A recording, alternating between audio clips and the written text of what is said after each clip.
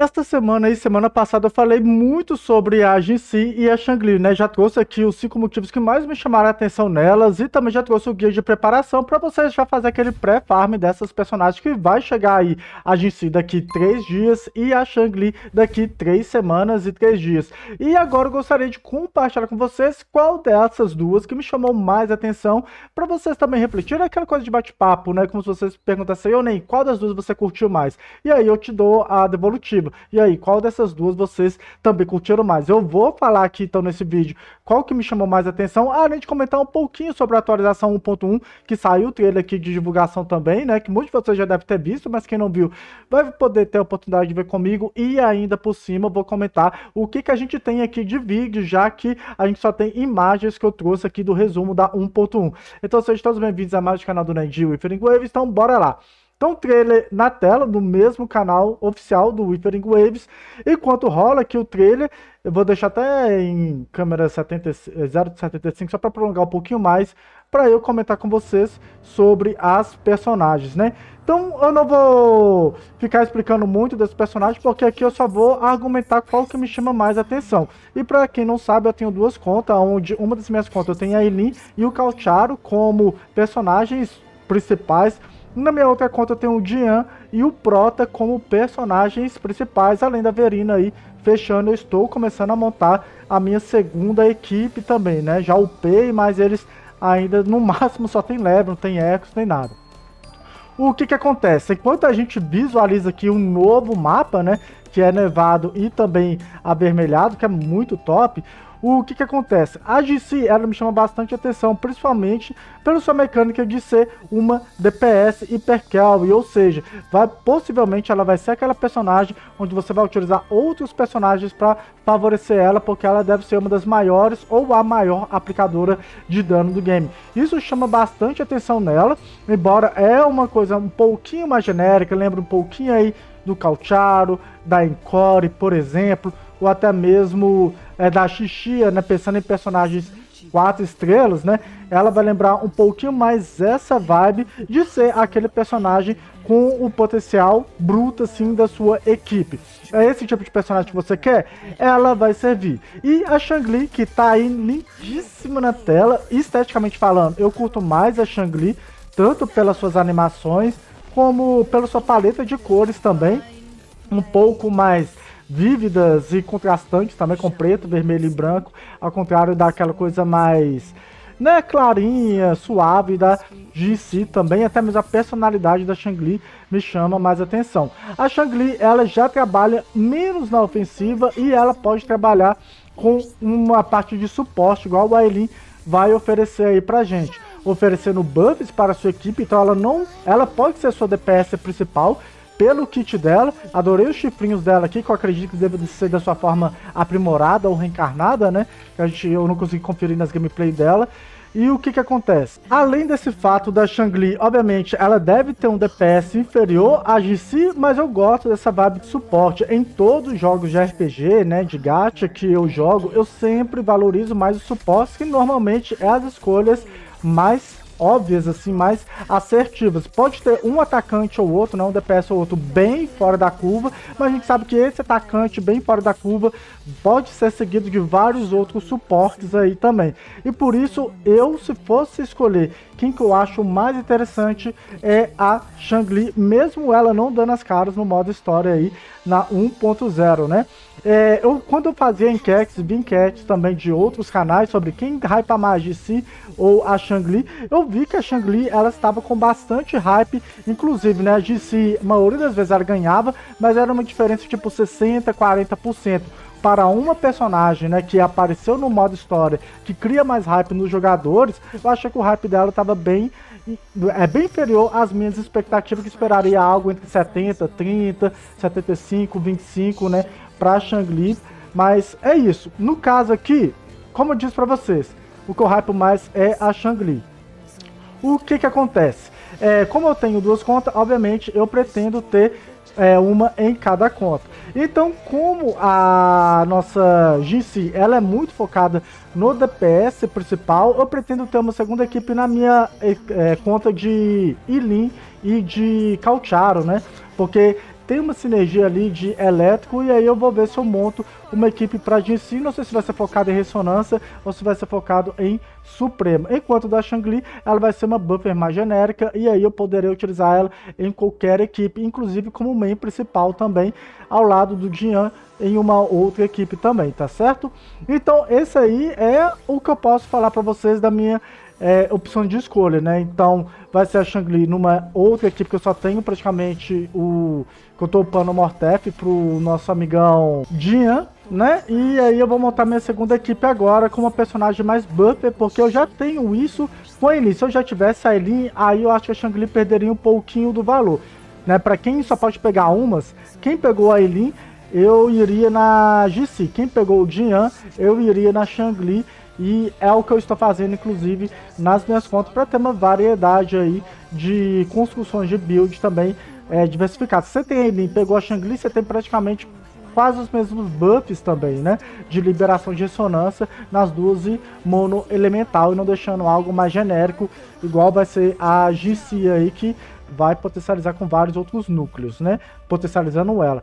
E é isso. Agora eu gostaria de comentar aqui um pouquinho dos trailers, né? Que a gente está tendo aqui da, da versão 1.1. Primeiro a gente... Opa, coloquei aqui errado. É 0.5.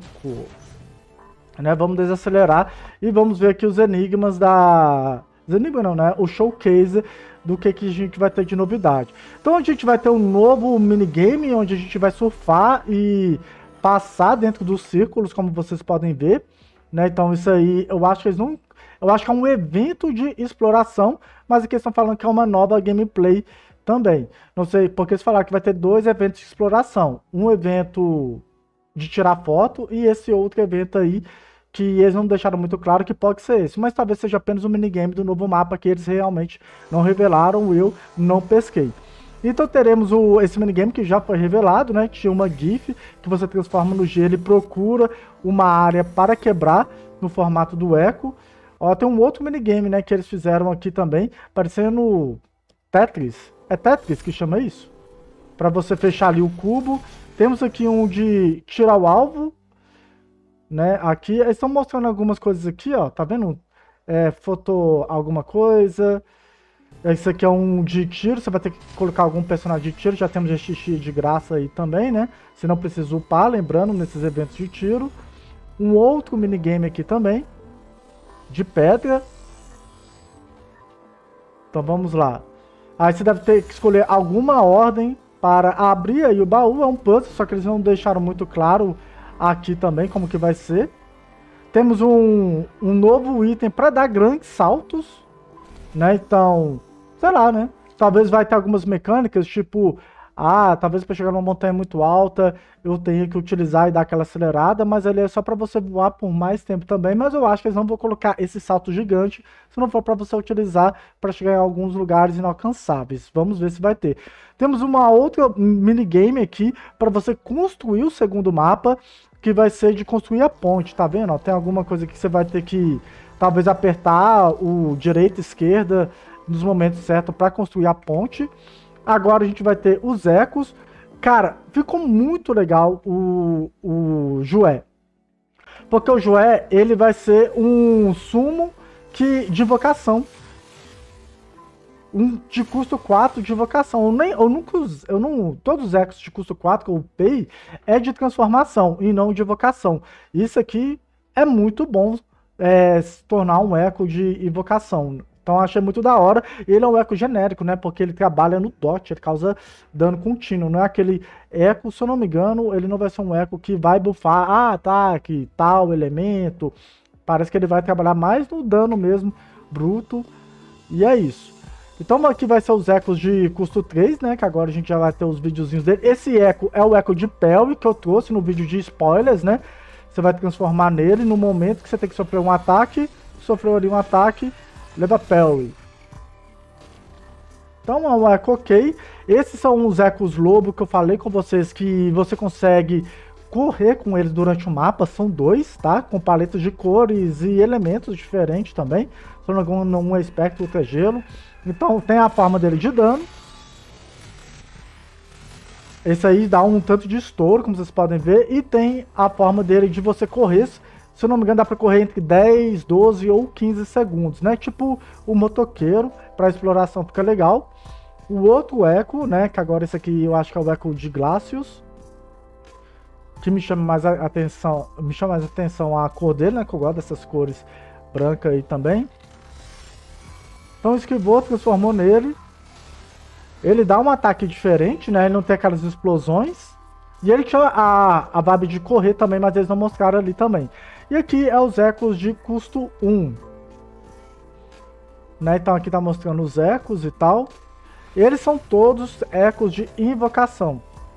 Né? Invocou ele ali no meio e vai causar um ataque. Que nem mostra, né? Que já cortou. Temos os cubinhos do puzzle que a gente transforma, né? Pra quebrar o gelo. E do Tetris também. Então ele se protege ali. Ele lembra o bichinho que a gente já tem, né? Aí no, no game, só que agora ele é coberto de gelo. Agora que deu pra ver a animação dele. Ele simplesmente vai lá e faz o kamikaze. E temos o que parece uma nossa, eu falei que era uma, um tucano, né? Isso é um, parece um tucano? Não, parece uma galinha Angola, sei lá. Então tá, ele aí no mapa e ele também é um eco de invocação. Chegou, Deus grita ali e dá uma voadora do Liu Kang e sai rolando nos inimigos. Esse aí então são os novos ecos. Temos aí as duas armas, a da Jinxi é espada longa e da nossa Shangli é espada normal. Aqui são alguns eventos que eles estão falando. Esse aqui é o evento principal, é o evento de missão principal, né? Melhor dizendo. Esse daqui é o evento de fotos. Né? Eles não deixam claro aqui as recompensas. Teremos aí o reset do reino alguma coisa, esqueci o nome disso.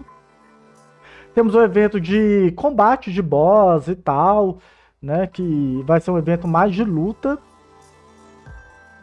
E aqui a gente vai ter uma roletinha. Não sabemos se vai ser roleta diária ou não, mas temos uma roletinha aqui das recompensas.